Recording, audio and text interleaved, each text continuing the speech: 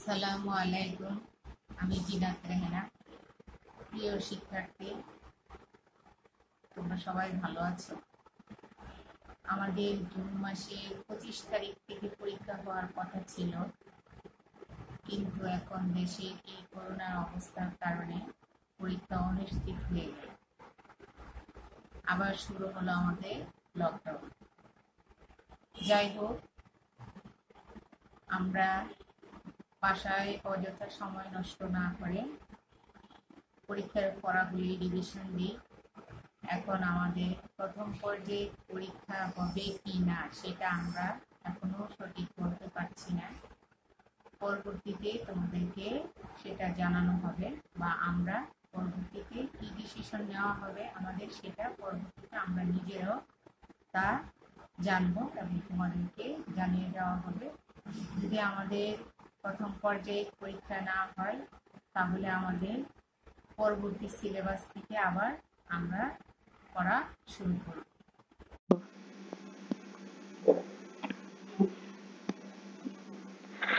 আমি তোমাদের এখন ক্লাস থ্রির বাংলা পড়াচ্ছি। ক্লাস থ্রির বাংলা এক নং থেকে দশ নং পর্যন্ত আমার একবার সিলেবাস কমপ্লিট হয়েছে। এখন এক, দুই, তিন, চার নং এর মডেল কোশ্চেন দুটি করে দেওয়া ছিল। একটি করে তোমাদেরকে আলোচনা করেছি।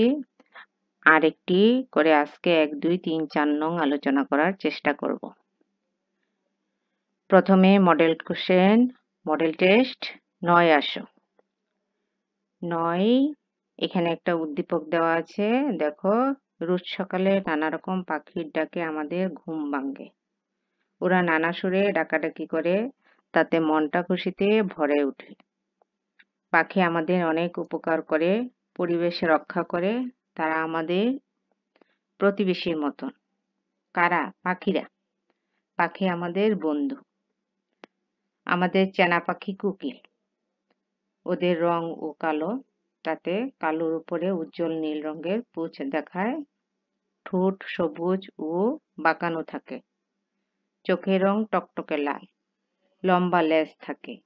কোকিল ডাকে উঁচু ও সুরেলা কণ্ঠে। কোকিলে ডাকে কুয়ু কুই কোকিলের ডাক এখানে দেওয়া আছে, তারপর দেখো এখানে কোকিল বসন্তকালে ডাকে। তারপর দেওয়া আছে ছোট্ট পাখি দুয়েল। শুধু কুকিলে না, এখানে দুয়েলের কথা উল্লেখ আছে। এরকম করে একটি উদ্দীপক আমাদের দেওয়া আছে। হ্যাঁ এই পৃষ্ঠা পুরাটাই একটা উদ্দীপক দেওয়া আছে। এই উদ্দীপকের আলোকে এক এবং দুই নং প্রশ্ন দেওয়া থাকবে পরীক্ষাতে। তোমরা এক এবং দুই নং প্রশ্নের উত্তর লিখবে। এক নামে দেওয়া থাকবে প্রদত্ত শব্দগুলোর অর্থ। হ্যাঁ আমি তোমাদেরকে প্রশ্নটা দেখাচ্ছি না, শুধু উত্তরটাই দেখাচ্ছি, কারণ এর আগে প্রশ্ন এবং উত্তর সব আমি তোমাদের পরীক্ষা খাতায় কীভাবে লিখবে তা দেখিয়েছি। সেই জন্য আজকে আর প্রশ্নগুলি দেখালাম না, শুধু বই থেকে উত্তরগুলি দেখালাম। দেখো, দেওয়া আছে প্রদত্ত শব্দগুলোর অর্থ লেখো, এখানে ঝুপ। ঝুপ শব্দের অর্থ হলো জঙ্গল, রোজ। রোজ শব্দের অর্থ প্রতিদিন। রক্ষা। রক্ষা হলো বাঁচানো, সুরেলা, মিষ্টি, বেশ, অনেক। এখানে শব্দ এবং অর্থ আমরা পেয়ে গেলাম। তারপরে দেখো, দুই নঙে হবে সংক্ষেপে উত্তর। এখানে শুধু উত্তরগুলি বললাম, আমি উত্তরগুলি তোমাদের দেখালাম, আমি প্রশ্নগুলি বলে বলে উত্তরগুলি বলছি। প্রশ্নটা হবে নিচের প্রশ্নগুলি সংক্ষেপে উত্তর লেখো। ক, কোকিল কোকিল কোন সময় ডাকে? আমরা জানি কোকিল বসন্তকালে ডাকে। পরের প্রশ্ন, আমাদের জাতীয় পাখি কি? এটি দেখতে কেমন? এবার তোমরা নিজেরাই বলো, আমাদের জাতীয় পাখি কি? আমাদের জাতীয় পাখি দোয়েল। এই দোয়েল পাখির বর্ণনা আমরা পড়েছি। এখানে দেখো, সাদা, কালো, সাজানো এর পালকের পোশাক। ডানার উপরে চৌড়া দাগ।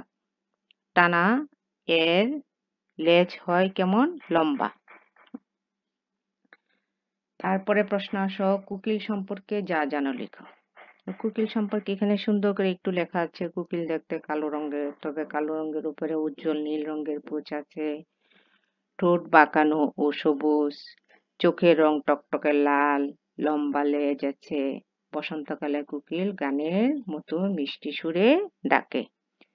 হ্যাঁ কুইউ কুইউ করে ডাকে। হুম যা শুনতে বেশ ভালো লাগে। এই আমাদের এক এবং দুই নং মডেল কোশ্চেন নয় থেকে। এখন আমরা আসি তিন এবং চার নং মডেল কোশ্চেন চার থেকে। আমরা দেখি মডেল কোশ্চেন চার একটা উদ্দীপক দেওয়া আছে। উদ্দীপকটি দেখো, বাংলাদেশ নদীমাতৃক দেশ। মেঘনা বাংলাদেশে একটি বিরাট নদী। ভারতে আসাম রাজ্য থেকে মেঘনার উৎপত্তি হয়। আসামে এই নদীর নাম বরাক। বরাকের দুটি শাখা, একটির নাম সুরমা, আরেকটির নাম হলো কুশিয়ারা। সুরমা সিলেট ছাড়িয়ে এসে আবার কুশিয়ারার সঙ্গে মিশে এক হয়ে যায়। তারপর এই নদীর নাম হয় কি? এই নদীর নাম হয় মেঘনা। চলার সময় মেঘনার সঙ্গে ছোট বড় বহু নদী স্রোত এসে মেশে, এতে মেঘনা বড় হতে থাকে। চাঁদপুরের কাছে পদ্মা নদী এসে মেঘনার সাথে মিলিত হয়। পদ্মা, মেঘনা মিলে বিরাট হয়ে যায়। যেদিকে চোখ যায় শুধু পানি আর পানি। মেঘনা নদীতে কি থাকে? শুধু পানি আর পানি। মেঘনা তার বিশাল স্রোত নিয়ে সামনের দিকে আরও এগিয়ে যা শেষে মেঘনা বঙ্গোপসাগরে পড়ে। তারপর মেঘনা সবশেষে এসে বঙ্গোপসাগরে পড়ে জেলেরা দিনরাত মেঘনায় মাছ ধরে। মেঘনা নদীর বিচিত্রতা সবাইকে মুগ্ধ করে। এই এটার আলোকে এখানে শব্দ, তিন রঙের শব্দ এবং অর্থ দেওয়া আছে এবং নিচে তোমাদের কতগুলা শূন্যস্থান দেওয়া আছে? এই শূন্যস্থানগুলো আমাদের পূরণ করতে হবে। আমাদের মেইন লিখতেই হবে শুধু পাঁচটা শূন্যস্থান। এবার দেখো শব্দ অর্থগুলি কীভাবে লিখে আছে তিন রঙে? নিচের কয়েকটি শব্দ ও শব্দার্থ দেওয়া হলো। নিচের বাক্যগুলো শূন্যস্থানে উপযুক্ত শব্দটি উত্তরপত্রে লেখো। এখান থেকে উত্তরপত্রে মানে উত্তরপত্রে মানে পরীক্ষার খাতায় আমরা শুধু ক, খ, গ, ঘ, গ পাঁচটি শূন্যস্থান যে লাইন আছে পাঁচটি লাইন লিখে শুধু এখানে আমরা শূন্যস্থানে যা বসবি সেটা বসাবো।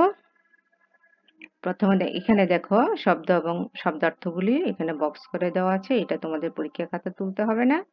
হ্যাঁ যেমন মেশে মিশে যায়, বিরাট, খুব বড়, স্রোত, ধারা বা প্রবাহ, মুগ্ধ, বিমোহিত করা বিচিত্রতা, বিভিন্নতা, উৎপত্তি, জন্ম। নিচে দেওয়া আছে, দেখো, ক, মেঘনা অবশেষে বঙ্গোপসাগরে বঙ্গোপসাগরে কি হয়েছে? দেশটাতে কি হবে? মেশে। হ্যাঁ মিশে যায় বা মেশে। তারপর পদ্মা নদীতে দেশ বেশি। পদ্মা নদীতে কি বেশি? স্রোত বেশি। এদের অধিকাংশ নদীরই দেশ ভারত। এদের অধিকাংশ নদীরই উৎপত্তি। দেখো আমরা শূন্যস্থানেই পেয়ে যাচ্ছি। বক্সের যে শব্দ এবং অর্থ আছে সেইগুলি কিন্তু এখানে বসাতে হবে। দেশ নদী মেঘনা। বিরাট নদী মেঘনা বা খুব বড়। বাংলাদেশের বৈচিত্র্যে আমি দেশ। বাংলাদেশের বৈচিত্র্যে আমি মুগ্ধ। তারপর চার নঙে কয়েকটি প্রশ্ন দেওয়া আছে। নিচের প্রশ্নগুলি উত্তর লেখো। নদীর নাম মেঘনা হয় কীভাবে? তারপর, মেঘনা নদীর বিচিত্রতা সবাইকে মুগ্ধ করে কেন? বুঝিয়ে লিখো। মেঘনা নদীর সম্পর্কে পাঁচটি বাক্য লিখো। এখানে পাঁচটি বাক্য দেওয়া আছে। পরীক্ষাতে তোমাদের দুইটি বাক্য থাকতে পারে, তিনটি বাক্য থাকতে পারে, চারটি বাক্য থাকতে পারে, পাঁচটি বাক্য থাকতে পারে। এগুলি তোমাদের মডেল কোষে মডেল টেস্টের উত্তরে, চার নংয়ের উত্তরে পঁয়তাল্লিশ এবং ছিচল্লিশ পৃষ্ঠা সুন্দর করে দেওয়া আছে। এখান থেকে তোমরা কমিয়ে কমিয়ে শিখে ফেলবে। আশা করি তোমাদের শিখা হয়ে গেছে। এতদিন আর কারও বাকি নেই। আর যারা শিখো নাই, শিখে ফেলবে, কমিয়ে কমিয়ে শিখে ফেলবে। এত বড় করে লিখতে হবে না। এখানে আমি দেখেছি অনেক বড় বড় করে লিখা। হ্যাঁ তোমরা ছোট ছোট করে লিখে নিবা। তাহলে আমাদের মডেল কোশ্চেন যে এক, দুই, তিন, চার নম্বরের যে আরও একটু বাকি ছিল, সেগুলি আজকে আলোচনা করে আমার পুরো একশো নম্বরের সিলেবাস আলোচনা শেষ হয়েছে। পরবর্তীতে যদি আবার প্রথম পর্যায়িক পরীক্ষার সিলেবাস পর্যালোচনা করা লাগে, তা করব।